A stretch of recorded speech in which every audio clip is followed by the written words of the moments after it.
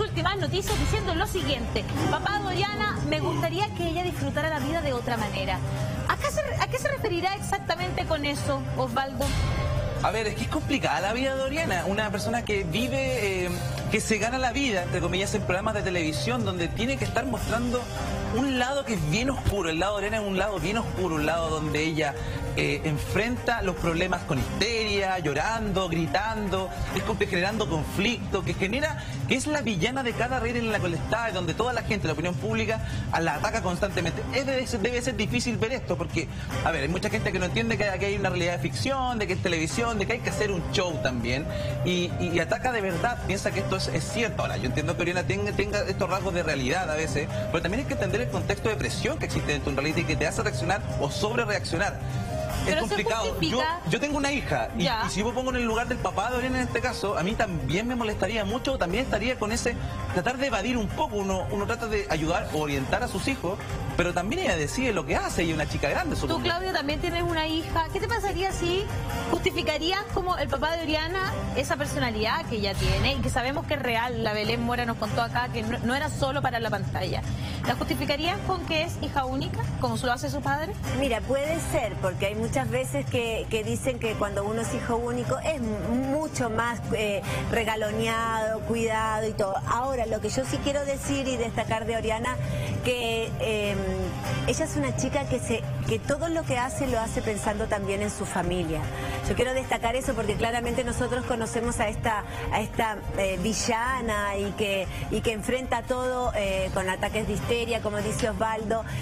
lo que ella enfrenta en el reality son hechos reales, son, son situaciones que se viven efectivamente.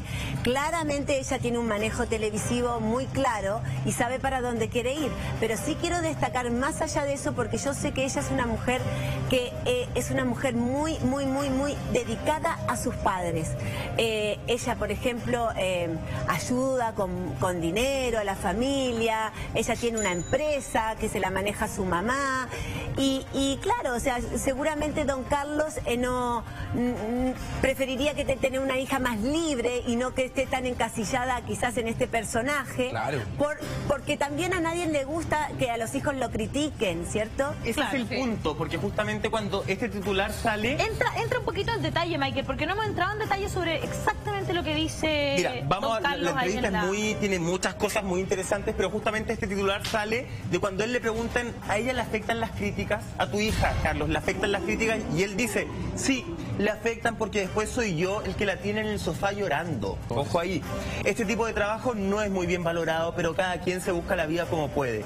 no es algo sencillo. A mí me gustaría que ella disfrutara la vida de otra manera. En ese contexto, justamente. En el fondo, el papá lo que dice, claro, Oriana es así en la tele, después la vamos a decir en la vida real, pero ella después viene a la casa y se pone a llorar y sufre y sí le afectan las críticas. O sea, esa parada de ahorita de me da lo mismo lo que ustedes hagan, barrio bajera, macarrón, ¿ya? A ella sí le afecta, Ale. Con respecto a la entrevista podemos inferir que él ve el carácter de su hija como algo no muy positivo. Porque le preguntan, ella tiene un carácter fuerte y, él dice, lamentablemente es igual en la televisión que en la casa. Ah, o sea, al final sí es igual. Es igual. Es igual. Dice, lamentablemente es igual en la televisión que en la casa está diciendo que claramente tampoco es muy positivo el carácter fuerte que tiene su hija. Oye, ¿cuál es la cámara de Viña del Mar?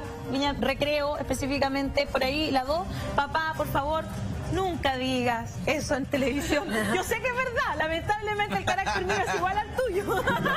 Pero no lo digas, por favor. Dice la verdad y aparte menciona lo mismo que estabas diciendo, Ale, con respecto a tu familia, que tú te pareces a tu padre. Dice que el carácter de Oriana es muy parecido al de él, que su madre es mucho más pacífica, más tranquila, que él tiene el carácter más fuerte. Y también le preguntan con respecto a Luis Mateucci, si conoce. Ay, no. Quiero que me digas lo que dice sobre Luis Mateucci, pero antes que tenemos a una amiga a través del Twitter. ¿Qué nos dice Carola Montenegro? A ver, Carolita, dice, él habla para hacerse famoso, ja, ja, ja, igual que la hija. Valor.